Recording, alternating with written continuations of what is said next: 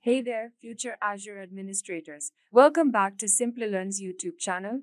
Today, we will be diving into the A to Z of the Azure Administrator or AZ104 certification. Now, why is this certification important? The AZ104 certification not only validates your expertise in managing Azure environments, but also enhances your credibility in the job market, making you a more attractive candidate for top tier roles. Plus, certified professionals often enjoy higher salaries, better job security, and greater opportunities for advancement.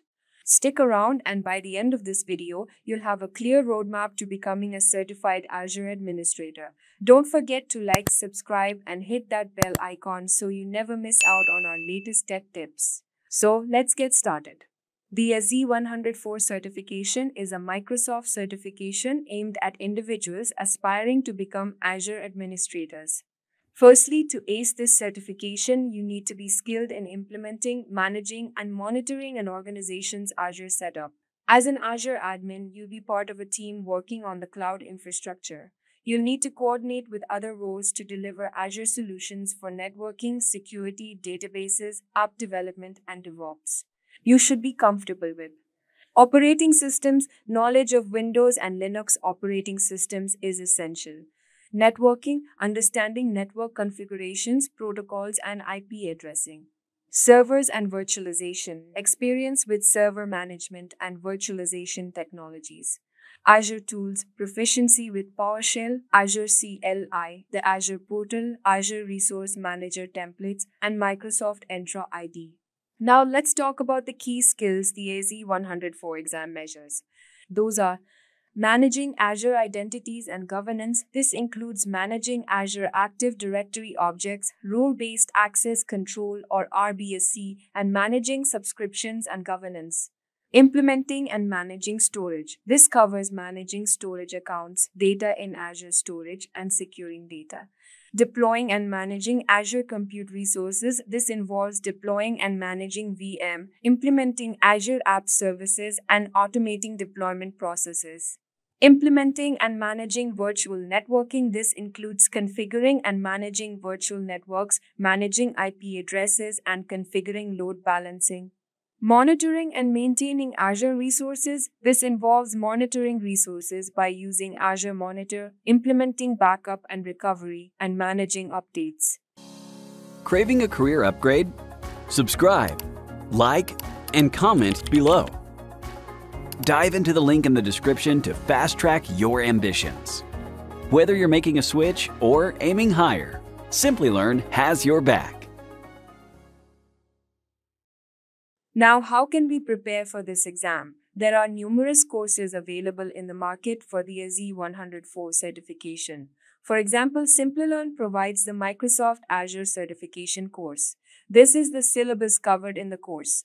It covers all the essential skills like administer Azure, AD users and groups, account configuration and storage management, containers provisioning and management on Azure, Azure resource monitoring, configure storage access, Azure storage firewalls and virtual networks, build and configure an Azure app service, implement backup and recovery, oversee Azure subscriptions and governance, automate the resource provisioning using either Azure Resource Manager, ARM templates, or bicep files, configure and administer virtual virtual networks within Azure, Azure Resources Access Management, set up Azure Files and Azure Blob Storage, virtual machines creation and configuration, configure name resolution and load balancing, along with practice labs and projects. You can also attend the course which is available on Microsoft Learn.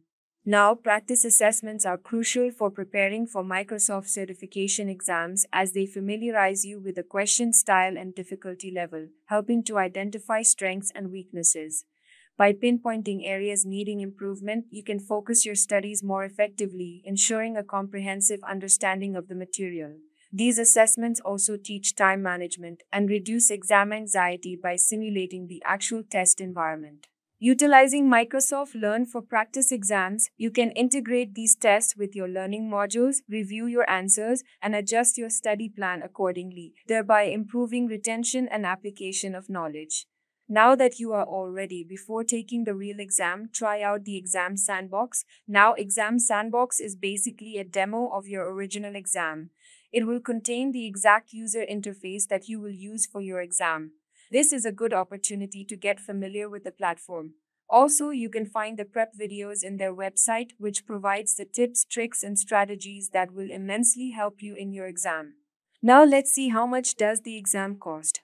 The exam costs 165 USD, but the price may vary depending on your location, which can be verified on their official website.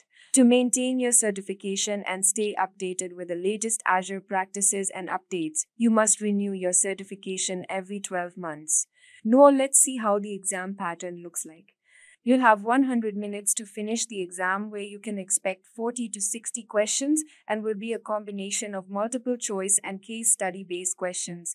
It's proctored and closed book with some interactive tasks to complete. If you don't pass on the first try, no worries, you can retake it after 24 hours. If you fail again, you have to wait for 14 days, which is again possible only up to 5 attempts. If you fail even after the fifth attempt, then you can retake it only after a waiting period of 12 months. The best part is that they also offer accommodations for individuals who may need additional time due to language barriers or disabilities. With prior notice and proper documentation, these accommodations ensure that everyone has an equal opportunity to participate and succeed. This inclusive approach demonstrates their commitment to accessibility and fairness, recognizing that each individual's needs may vary. The exam is accessible in a diverse array of languages, broadening its reach to include English, Chinese, Korean, Japanese, French, Spanish, German, Portuguese, Russian, Arabic, Italian, and Indonesian. This multilingual availability ensures that candidates from various linguistic backgrounds can engage with the exam in their native or preferred languages, enhancing comprehension and reducing potential language barriers. So that was it about the Azure Administrator certification. Hope you got a complete idea on what the exam is about and how to prepare and approach the exam. If you have any doubts, drop your questions in the comments section below. Have a great day. Thank you. Hi there, if you like this video, subscribe to the Simplilearn YouTube channel and click here to watch similar videos. To nerd up and get certified, click here.